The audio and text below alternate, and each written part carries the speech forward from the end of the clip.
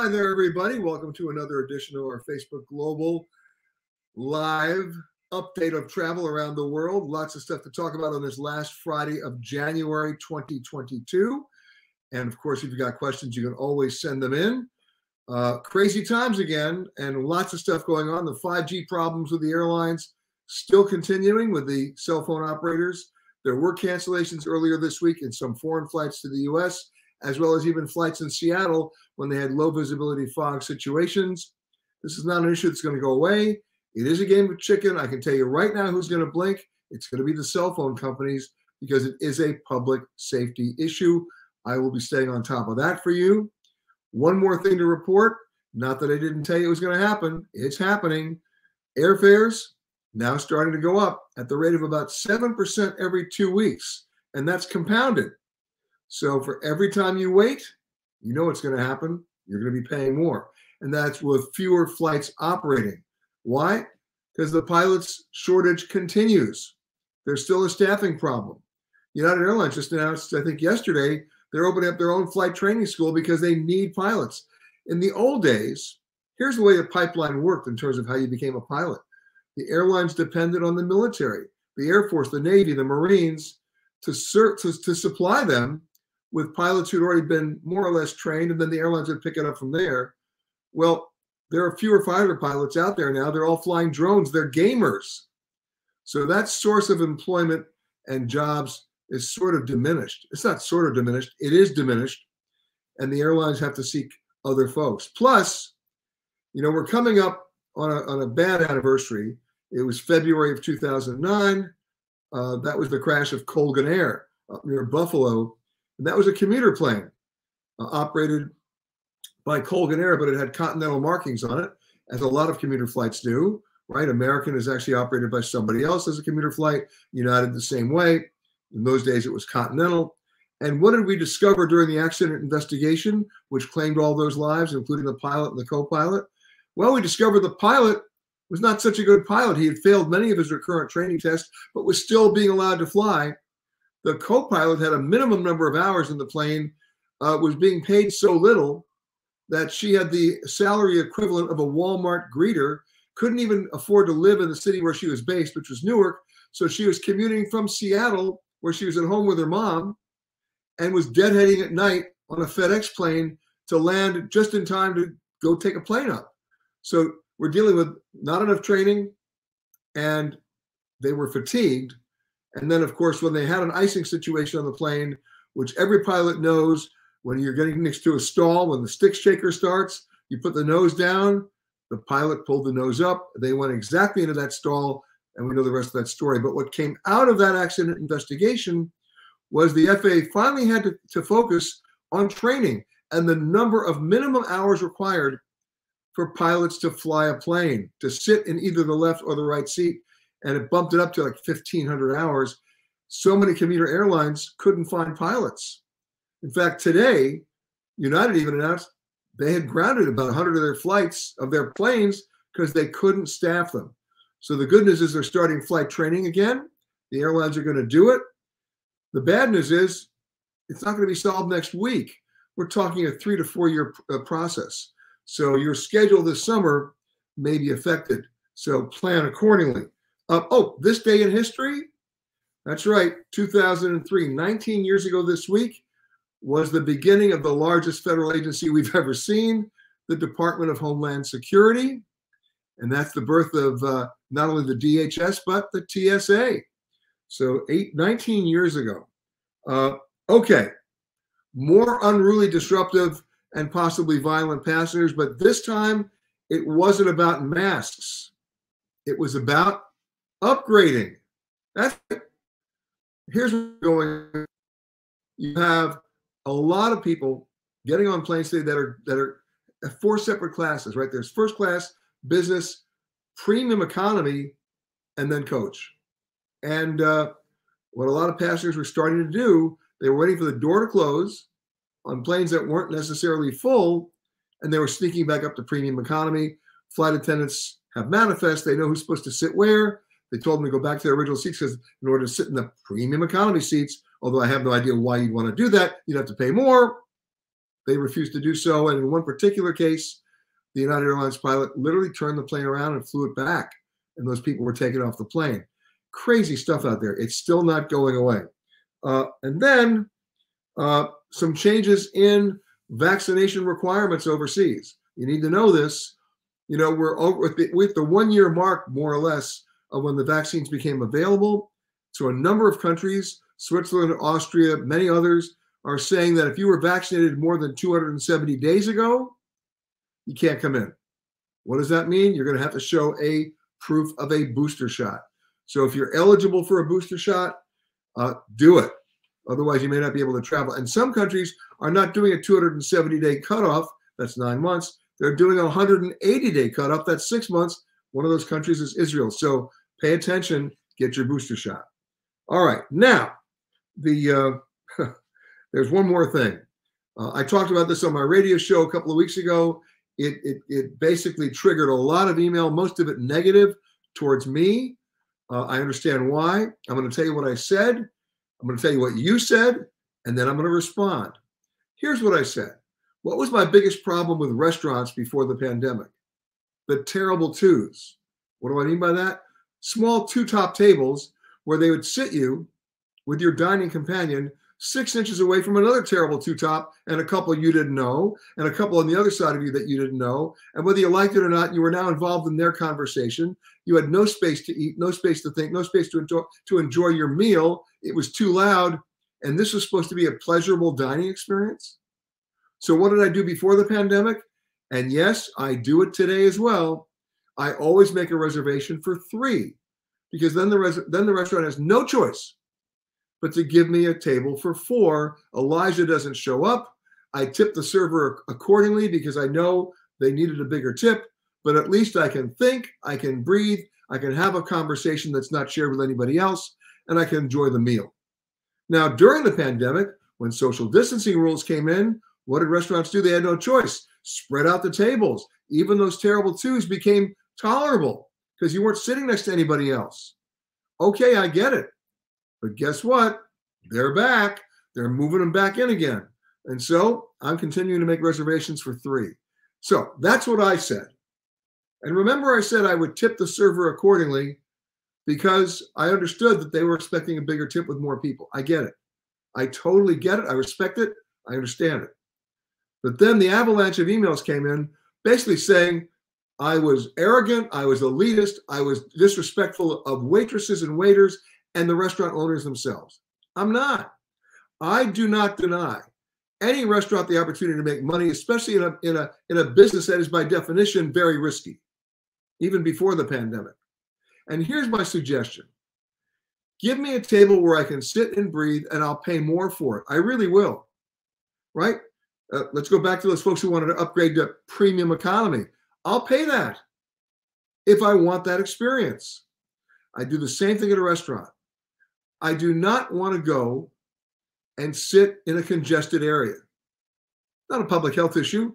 It's basically an enjoyment issue, which is compounded now by a public health issue. So that's what I said. That's what I will continue to say. And if you think I'm being arrogant or elitist, I'm not. I'm being practical, right? Dining out is supposed to be pleasurable. And if you are running a restaurant where you have to turn the tables every 20 minutes or every 15 minutes or you want to crash people next to each other, I know the name of that restaurant. It's called McDonald's. All right, enough said on that. Now I got to share with you one more thing that is driving a lot of people a little batty. And I'll talk about it again tomorrow on our radio show, by the way, uh, which is airing from 10 a.m. to 1 p.m. Eastern Time. Check your local listings. And if you can't find it, we stream it live. Just go to our website, petergreenberg.com, 10.05 to 1 p.m. Eastern. Boom, we're in. Here's the story. We've talked about frequent flyer programs before. You know you have some frequent flyer miles lying around. You've earned them, whether or not you're able to chance to redeem them. But here's the question Are your miles income? Can they be taxed? We don't know the answer, but this is what we do know. A recent U.S. tax court ruling said that if the miles you earned were worth more than $600, they're taxable income. What an insult. Now, the argument on the other end of that, in the case that was lost, was that this was not about earning miles. The miles were actually a form of a rebate and were therefore not taxable. Now, the good news, if there's any good news, is that the the this tax court ruling is not binding and that the IRS has not yet issued a formal rule on this. However, and even for the moment that your miles are safe, you know what? Don't ever underestimate the ability of a very zealous IRS auditor to declare them as income, and there you go to tax court. Now, here's the ironic thing this is not a new issue, it rears its ugly head every single year. And most of the time, it never gets to tax court because the tax court throws it out. Why do they throw it out? Here's the irony how many tax court judges are members of the frequent flyer programs? It's the ultimate conflict of interest. It's a recusal on parade. So it's still an issue. One tax court does not necessarily mean you're going to get a ruling on this, but you know what? Redeem your miles, please. Unload them.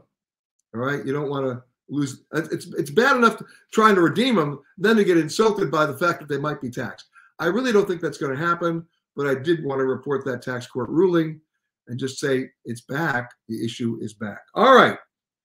Now, let's go to some of your questions, and then I got I have a trivia question for you coming up. All right, let me scroll back up here. MW wants to know when would I suggest booking a June 4th ticket to Miami? Today. Uh, Pauline says hi. Patrick says, uh, greetings from the Grand Princess. My God, you've been on that ship a while, Patrick. Uh, JR hi from Des Plaines, Illinois. I know Des Plaines. You know why? Because when I was a student at the University of Wisconsin, driving up from Chicago, what did I pass every time on I 90? The Fred Harvey Oasis right there at Des Plaines. And you know what the Fred Harvey Oasis now? You know what it is now, the Oasis? It's a McDonald's. Uh, Bernice says, hello from Tanzania. Always hello to my friends in Tanzania. And uh, we will see you soon.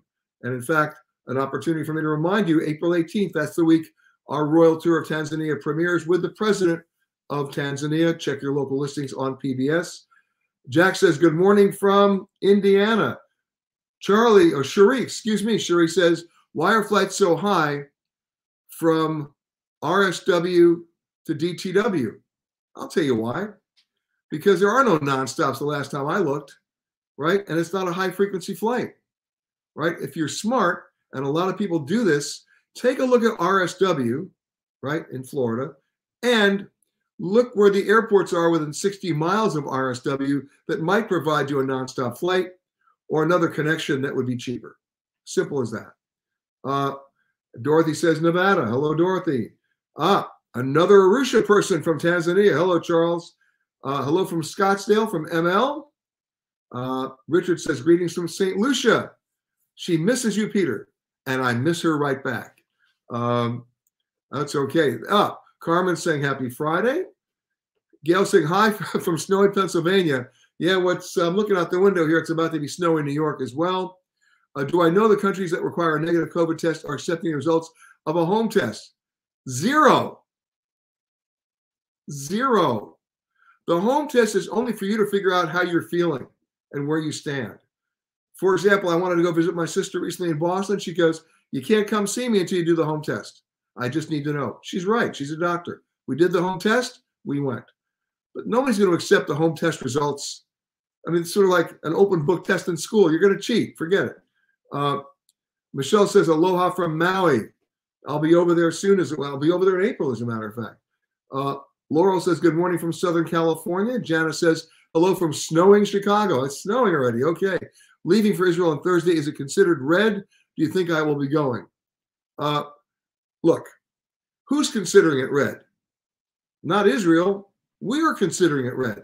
Remember, we continue the metrics that don't really help. We're considering it red based on the vaccination or incidence of cases in that country versus our own conditions. Now, Janice, I'm assuming you're vaccinated. I'm assuming you're boosted. I'm assuming you're going to wear a mask and, and practice social distancing. Wash your hands early and often and your doctors told you had no pre-existing conditions that would prevent you from responsibly going there, then you go. Uh, hello, Betty from Colorado. Soon to be back in Florida. I get it. MW, good morning from Michigan. When is the best time to buy a ticket from Detroit to Miami for June 4th? I already answered that. Uh, good morning from Las Vegas. Hello, April. Lorena says, greetings from Arctic, Michigan. and you say your birds are, are loving your heated bird bath. Isn't that considerate? All right, Lorena. Uh, Alicia says, I'm booked for Morocco in April. Do I think Morocco will open to travelers? I do. I actually do. Uh, Grace says, I canceled my Europe trip last December, rebooked for March. How is the travel situation for Switzerland, uh, north of Italy and France? Right now, it's open. Uh, but remember, Switzerland is one of those countries that's demanding that booster vaccination, right? They want to see proof of that. Uh, Terry says, table for three, love it. Well, at least somebody likes my idea. Remember, necessity is the mother of invention. I didn't wake up one morning and say, okay, I'm going to make a reservation for three just for the hell of it. I decided I was going to make a reservation for three because I was sick and tired of the terrible twos. Simple as that. Hey, good morning from snowy Cincinnati. It's snowing everywhere. Uh, Colleen saying, calling in from Watsonville, capital of the artichoke. Is that like Gilroy, capital of the garlic? Uh, they even have artichoke ice cream here. Okay, you've gone too far. uh, definitely tops the, oh, there it is. Definitely tops the garlic ice cream in Gilroy. You beat me to it. Okay. Evelyn says, greetings from Denver. Sue says, having a hard time finding a flight from Seattle to St. Thomas a 45 minute layover. I don't want any other flights are more. Oh, I don't want and other flights are more expensive. What's the best way to find a flight? If I had to guess, uh, I would take a red eye from Seattle to Miami and give yourself a two or three hour layover and then a real quick hop from Miami to St. Thomas. That would be my choice. Uh, Colleen says, "Oh, you're the least arrogant person I know." Well, don't don't get me started, but I'll take the compliment. Uh, okay, Lorena says, I hear people talking about receiving their booster, then traveling again. We're totally vaccinated, it has to be within six months. So they get another booster and then another booster. But I haven't heard comments from medical people addressing multiple booster shots. Well, guess what? I'm not a medical people. But, uh, and I can't tell you one way or the other, but you know what? We will check with the doctor. My, my assistant Anthony will get that person this week on the phone or early next week. And by next week, we'll be able to have a reasonably decent answer for you about can you have too many shots.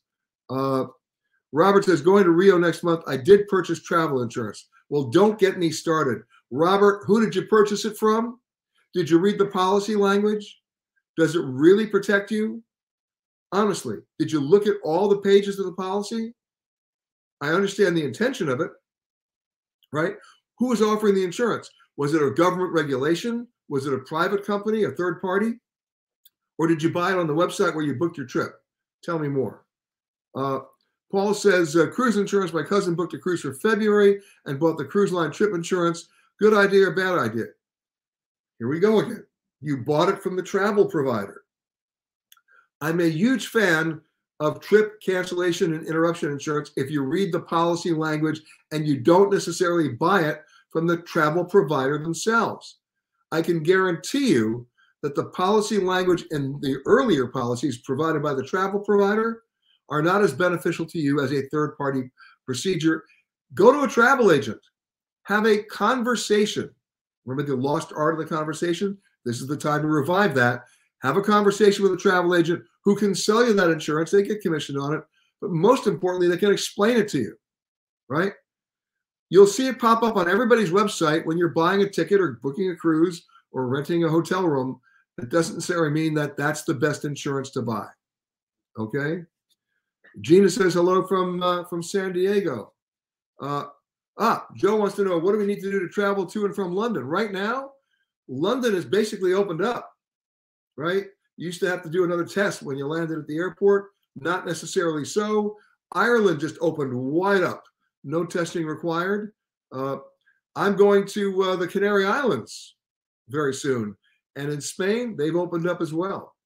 Uh, ah, yeah, this is a tough one for Michelle. Can I please comment on Crystal Cruises refunds to their cruising clients who were booked on trips that have been canceled? Michelle, I'm hoping that you didn't book six months ahead, and I'm hoping that you booked using a credit card. If you did, get on the horn right now with your credit card company, dispute the charge, and get your money back that way. Do not wait for Crystal Cruises to refund your money. Their parent corporation has declared insolvency. Most of their chief executives and top people have resigned. Uh, Their assets are basically in liquidation. And those three ships, the big cruise ships that they have, the, the two big ocean liner ships and the expedition ship, the new one called the Crystal Endeavor, they're in play and may be snapped up by other cruise lines. But in terms of getting a refund from Crystal right now, you're in a long line of unsecured creditors.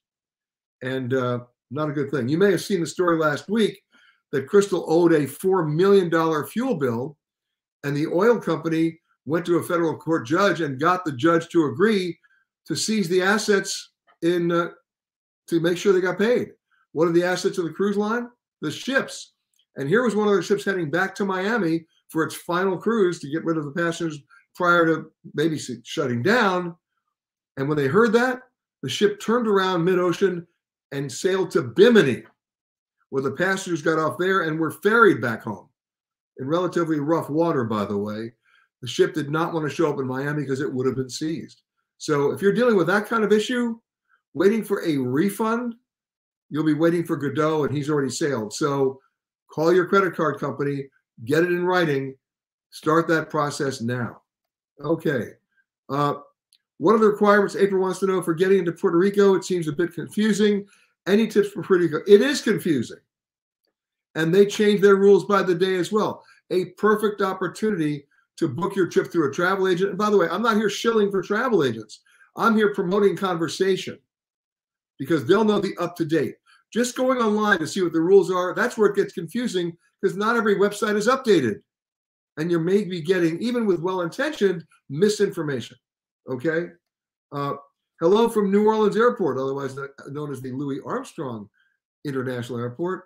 Ah, greetings from KLM in Tanzania. Hello, Digna. Digna.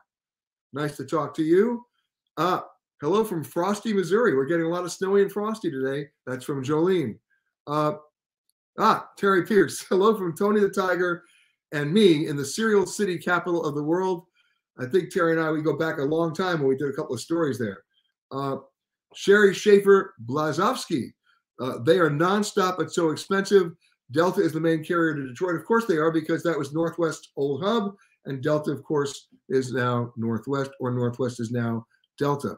Uh, look, when you're dealing with those kind of trips with less frequency and smaller airplanes, those airfares are going to get high. But I would still encourage you to do a one stop through another major hub, maybe Miami or Fort Lauderdale, uh, or even Orlando, that where it has more frequency. I guarantee there are more Orlando Detroit flights than there are RSW flights to Detroit. That would be my suggestion. Mary Bliss says, My son and I are totally confused on how to use your rail passes. Is there real help out there? Of course, I'll give you the help. You can only buy a Eurail pass in the US in conjunction with your round trip international airline ticket. Number one, they sell them in different forms. There's first class and second class, and in different time component parts. You can do one week, two week, and monthly and longer passes. I do not recommend first class. You won't need it. Get a second class pass and then figure out how many days or weeks you're going to be overseas and how often and how efficiently you can use the train. So, London to Paris, use the train. Paris to Brussels, use the train. Paris to Amsterdam, use the train. Paris to Lucerne, uh, not Lucerne, to Zurich, use the train. Uh, you'll, be, you'll be surprised how many great connections there are and how many trains and train systems are part of the rail pass. But just be clear on you don't need first class. In many cases, you do need to be clear on when you're taking the trains, because if you want to save money on a couple of hotels, you can do a couple of night trains. Not every night, you'll be a zombie, but a couple of night trains, and you'll be better off. Okay. Wow, I got one from the from Bhutan today. Hello, Lotai. Nice to talk to you. Joseph is saying, ah, she's he's receiving me loud and clear from Nairobi. Jambo. Uh, Jeff saying, uh, I really enjoy watching you on Facebook. Thank you, Jeff. Always so informative. Thank you, Jeff. Jeff's not related to me. My question concerns my COVID card. We are headed to Spain in late April and eventually picking up a cruise in Barcelona. Both of us are triple vaxxed. Are copies of a COVID vax card accepted, or must we present the original?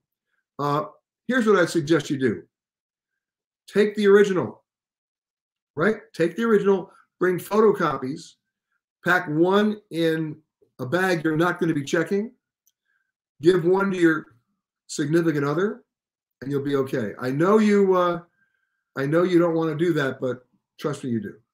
Uh, Kara says the return to the US, you can use a home test, FYI, just to be, oh, it just needs to be supervised on a video call. Are you kidding me? Don't do that. What people sometimes will do for expediency will bite them in the butt when they get to the counter and some, you know, unaware gate agent goes, Where's the written piece of paper? Guys, enough with the home tests. Find a hotel, a public health service, uh, or a concierge service, or the resort itself might be able to provide one that can give you that test. Go where the locals go. You don't necessarily have to do concierge service at a hotel. Okay. Uh, okay. Here we go. Ah, greetings from Kigali, my old friend Peter from Rwanda. Uh, and he wants us to know that the Rwanda land border and Uganda will reopen on the 31st of January. It's coming up next week. All right, congratulations. Robert says hello from Fairfax, Virginia. Linda saying hi from South Carolina. Uh, Gina says artichoke ice cream sounds good, actually. Gina, you're on your own on that one.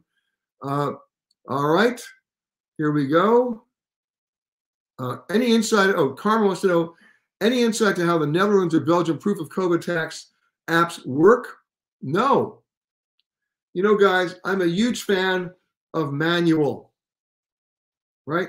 What do I always say to the pilots? When in doubt, fly the plane. You will never see me, and I hate to use the word never, but I'm using it. You never see me download my boarding pass on my phone. I want a physical copy.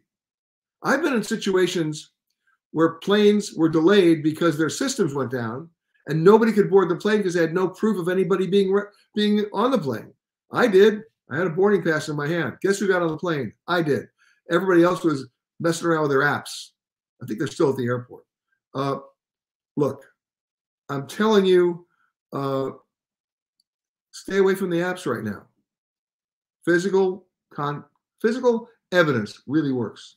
Uh, okay, Uganda's checking in now from our friend Chris Crust. They're out there on the gorillas. Uh, Captain Jonathan Atkin. All right, any thoughts on the biggest and privately owned shipping company, MSC, buying the former Alitalia? Yikes. Well, MSC is the biggest shipping company in the world. They also operate a number of great cruise lines.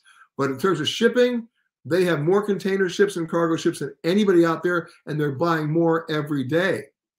The idea that they would buy Alitalia, that may be a bridge too far. You know what?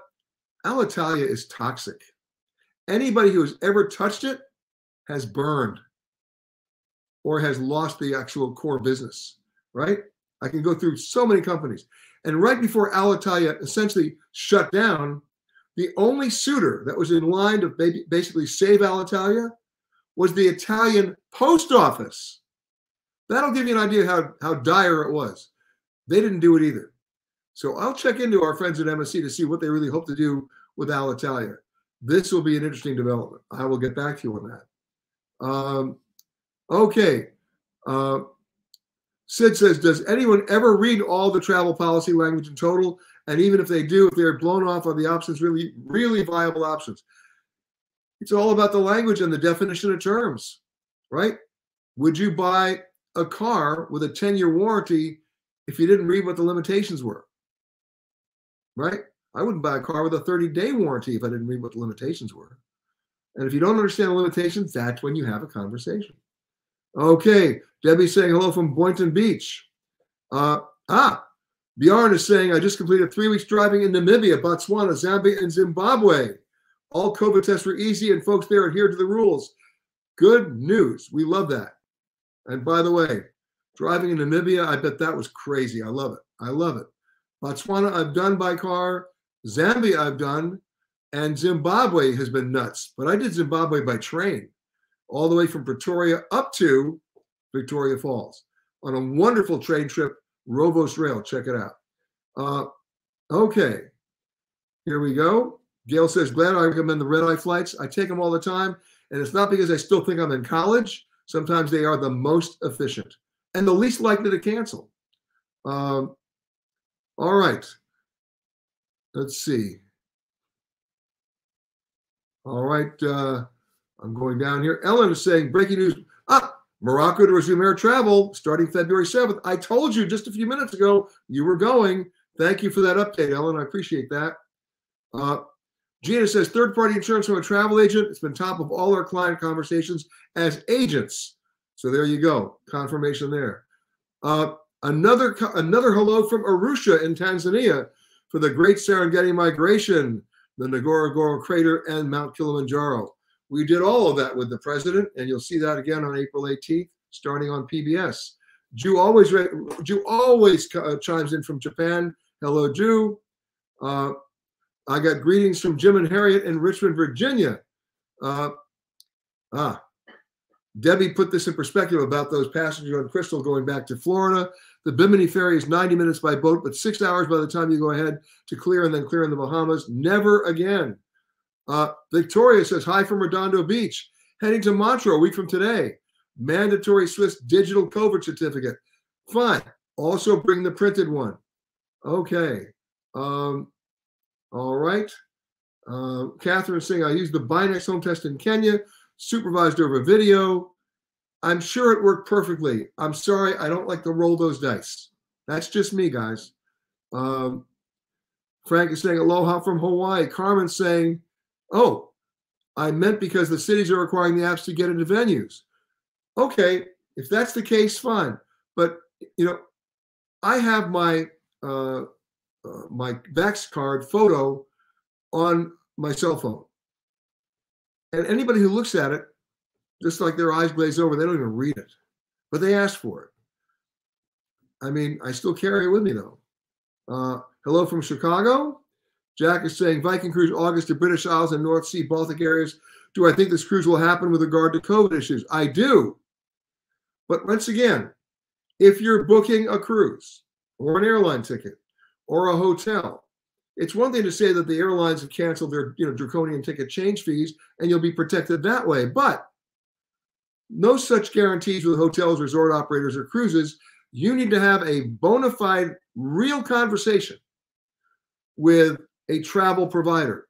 It doesn't necessarily be a travel agent, but someone who is a decision maker that you can confirm in writing as to what your rights are if either A, they cancel the cruise, or B, you do.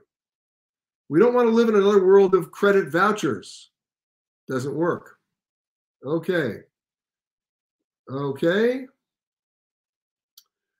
Lee in Franklin, Tennessee. When do I think Japan will open? Probably May. Uh, Robin saying hello from Williamsburg, Virginia. Sorry I'm late. No points will be deducted, Robin. Thanks for joining us. Uh, Captain Jonathan Atkin wants to know if I've ever sailed on the ancient vessel Lake Tanganyika. I haven't, but I have sailed on one of the oldest vessels on the Nile, and we'll get you a picture of that in a couple of weeks. It was wild. I mean, it was Agatha Christie times three. Uh, okay. Uh, Sherry wants to know if all the airports, including across the pond, have COVID testing. Well, many private services are there but no guarantees. Um, and Judas answered from Japan, not anytime soon. That's what I'm saying, May. Uh, do I think they possibly could reclassify pandemic to endemic, and this would make travel insurance cover COVID illness impacts? Well, here's some good news. There is, an, well, there are a number of insurance companies offering now policies that do purport to protect you from COVID, whether you test positive, whether you have to be hospitalized, whether you have to be flown home. One company that's redone it is Allianz. Uh, you'll see them pop up online, but once again, go through your travel agent to get it. You still need to have that conversation. Another company that's relatively new to the business is Covac, right? COVID, Kovac, C O V A C. They also offer this service. Uh, it also includes medical repatriation and evacuation, as does MedJet Assist. But keep in mind, there are exclusions. There are age limits. There are medical uh, pre existing condition limits. And there are destination limits. As I said the other day on CBS, no one's going to cover you for your vacation in Syria. I know that's an extreme example, but you get the point. There are some geographic exclusions. Okay. Uh, now let's go back here. Oh, it's now time for our trivia question. You ready? All right. See who gets this. There are four states in the United States where the capital city of that state starts with the same letter as the state itself. So, to give you an example, it would not be Sacramento, California, but now you get the idea. See if you can guess them.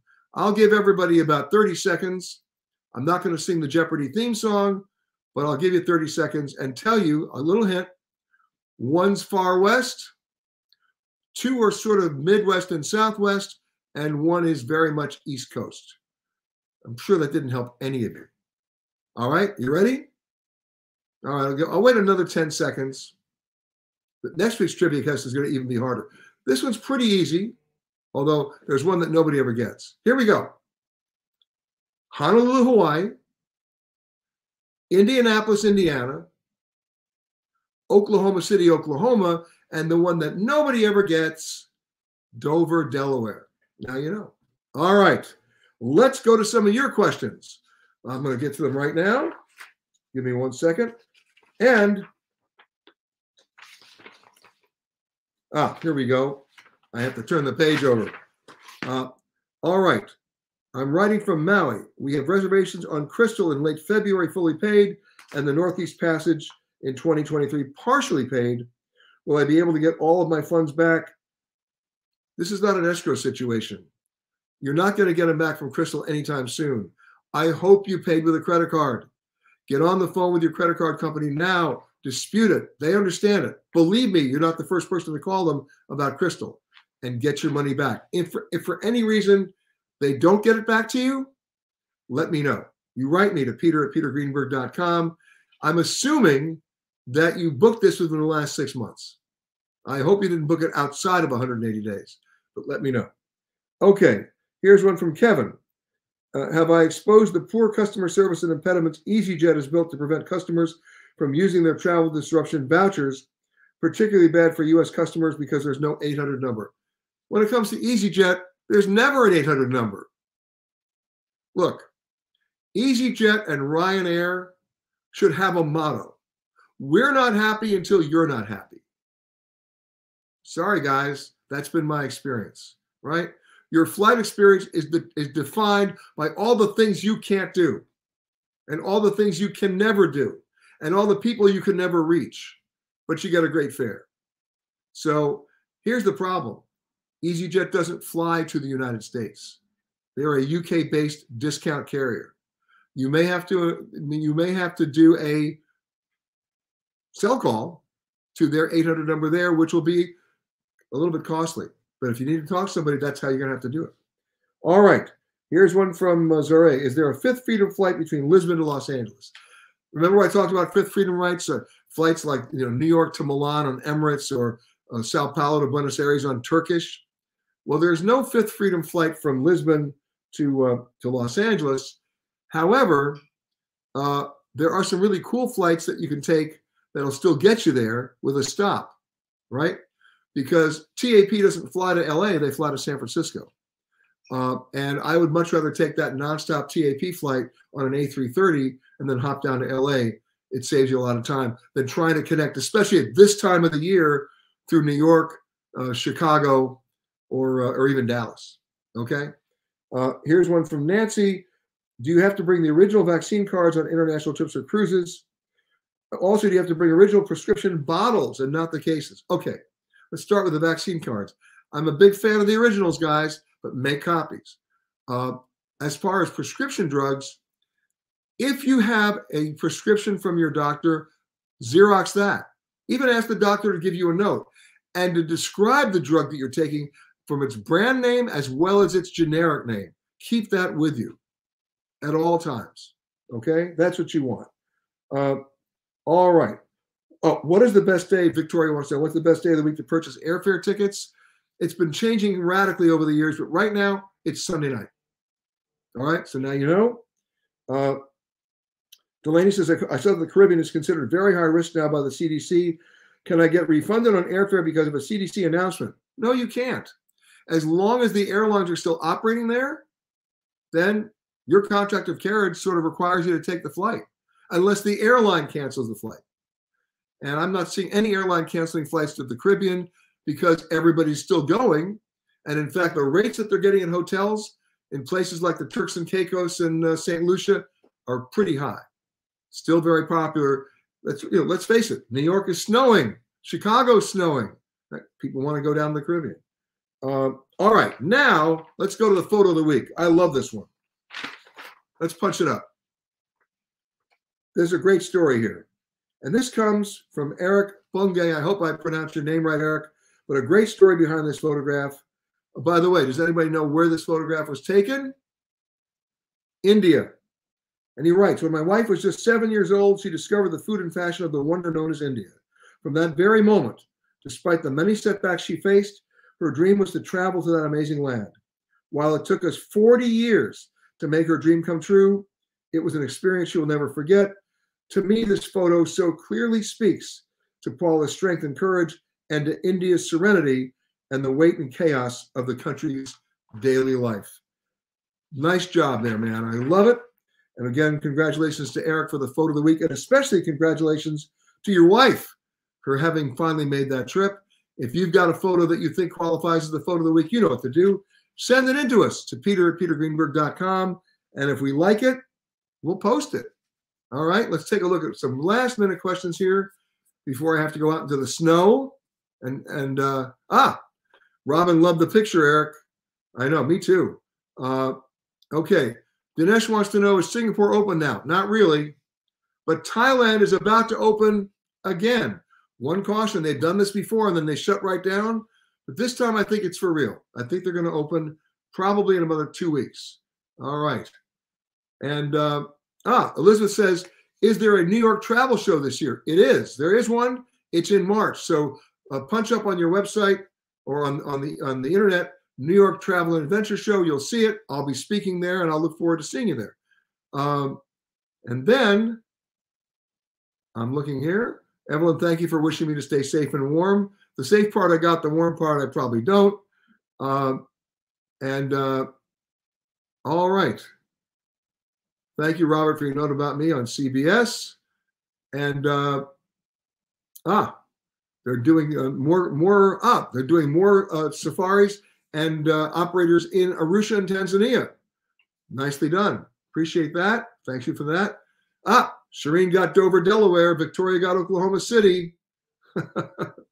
All right. Hey, guys.